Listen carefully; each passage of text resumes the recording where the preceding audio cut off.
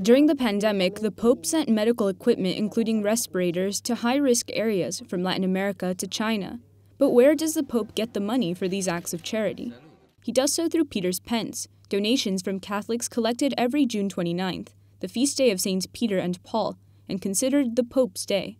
Those funds go toward meeting the Pope and the Vatican's needs.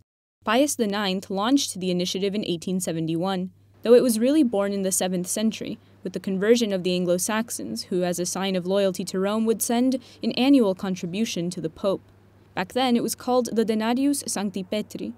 The latest report from 2019 shows that Peter's Pence raised $64 million and financed charity projects and a third of the Pope and the Vatican Curia's activities.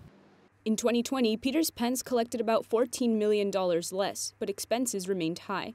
In 2015, the fund had about $380 million. Today, it has about $245 million. That's why Juan Antonio Guerrero Alves, who manages the Vatican's finances, says the numbers show that the Church's aid projects depend upon Catholics' contributions.